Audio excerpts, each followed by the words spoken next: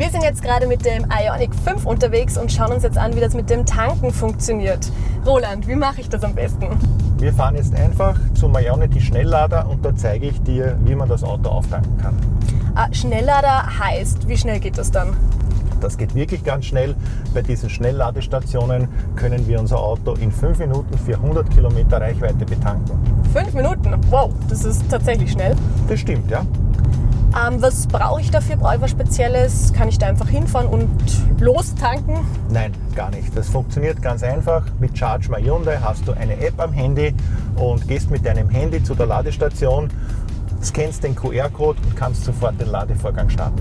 Okay, das heißt, Bargeld brauche ich dann keines, richtig? Brauchen wir kein Bargeld, nein.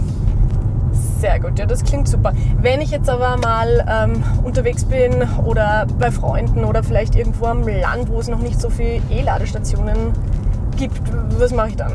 Okay, also optimalerweise hat man zu Hause eine Wallbox, damit man das Fahrzeug zu Hause laden kann.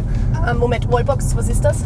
Ja, eine Wallbox äh, ist ein kleines Gerät, das hängt an der Wand, das hängt am Kraftstrom.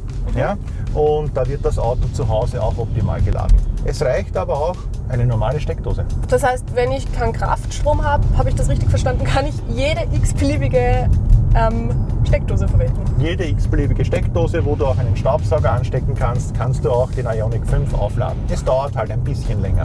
Okay, das heißt, das kann mir quasi nicht passieren, dass ich irgendwo am Weg plötzlich stehen bleibe und keine Energie mehr kriege, weil es Mit, gibt. mittlerweile ist E-Mobilität wirklich so einfach geworden, dass man keine Angst haben muss, irgendwo ohne Strom stehen zu bleiben. Meine Lieben, also ich bin schon mal schwer begeistert, wenn ihr jetzt auch Lust bekommen habt und den Ionic 5 erleben wollt. Das geht ganz einfach. Schaut einfach auf Hyundai.at und macht euch eine gratis, unverbindliche Probefahrt aus. Ich kann es jedem nur empfehlen, wirklich. Wenn euch das Video gefallen hat, ich freue mich über ein Like und wenn ihr up to date bleiben wollt, abonniert den Kanal.